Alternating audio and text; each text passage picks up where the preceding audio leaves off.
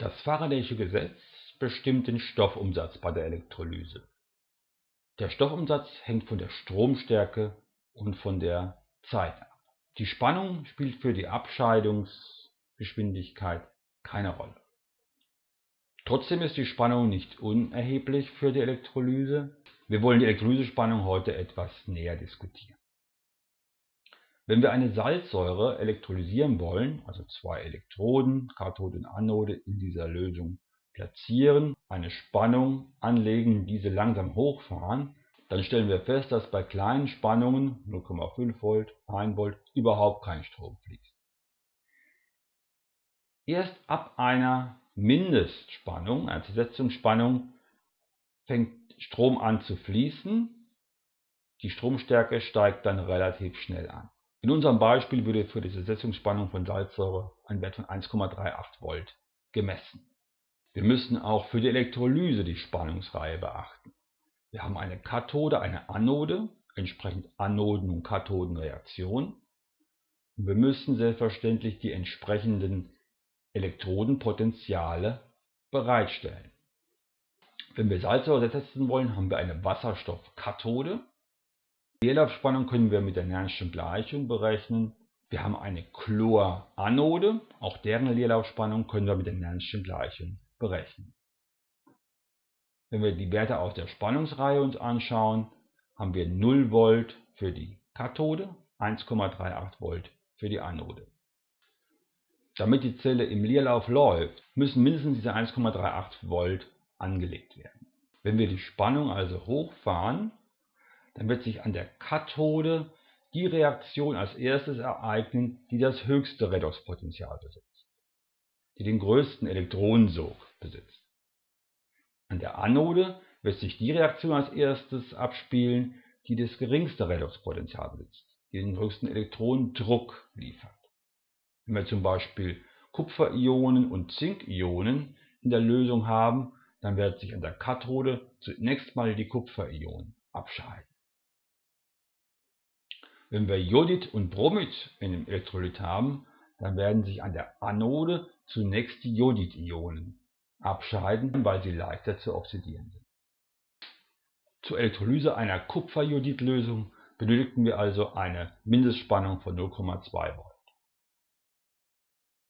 Bei geringen Spannungen ist der Widerstand unserer Elektrolysezelle unendlich hoch. Ist die Setzungsspannung erreicht, können wir einen Innenwiderstand der Elektrolysezelle messen. In unserem Beispiel hat der Innenwiderstand den Wert von 8 Milliohm. Die Zersetzungsspannung, die wir nach der Nernstschen Gleichung ausrechnen, ist nur eine Mindestspannung, denn die Werte in der Spannungsreihe beziehen sich auf stromlosen Zustand. Wenn wir tatsächlich Strom fließen lassen wollen, werden sich die Potentiale an Kathode und Anode verändern. Wir haben eine sogenannte Überspannung, eine Abweichung vom Gleichgewichtswert. Bei 1 mA Stromdichte ist das Potential an der Kathode niedriger und an der Anode höher. Wenn wir die Abweichung vom Gleichgewichtswert betrachten, haben wir an der Kathode eine negative Überspannung von 0,6 Volt und an der Anode eine positive Überspannung von 0,09 Volt. Wenn wir 1 mA Strom fließen lassen wollen, brauchen wir eine Klemmspannung von 2,07 Volt. Die Überspannung hängt auch vom Elektrodenmaterial ab.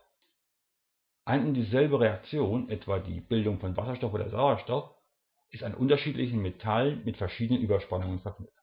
Manchmal ist Überspannung auch ganz nützlich.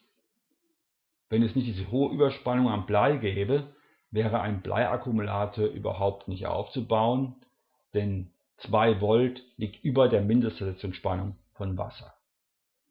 Ursache für Überspannung sind Hemmungen, die mit dem Ladungstransport einhergehen. Wir unterscheiden Migrationsüberspannung, Diffusionsüberspannung, Durchtrittsüberspannung und Reaktionsüberspannung. Migrationsüberspannung ist durch den ohmschen Widerstand des Elektrolyten verursacht. Diffusionsüberspannung entsteht bei hohen Stromdichten, wenn die Schicht vor der Elektrode an Ionen verarmt. Durchtrittsüberspannung tritt immer auf. Sie ist mit der Aktivierungsenergie der Durchtrittsreaktion verknüpft Und Reaktionsüberspannung kann auftreten, wenn aus primären Elektrodenprodukten zum Beispiel Moleküle sich bilden sollen. Die Mindestersetzungsspannung bei der Elektrolyse kann man nach der Nernstschen Gleichung und den Tabellenwerten der Spannungsreihe berechnen. Soll ein Strom ungleich Null fließen, so müssen wir noch Überspannungen addieren. Diese Überspannungen sind auf Hemmungen zurückzuführen, die bei Stromfluss auftreten und ohne Stromfluss nicht vorhanden sind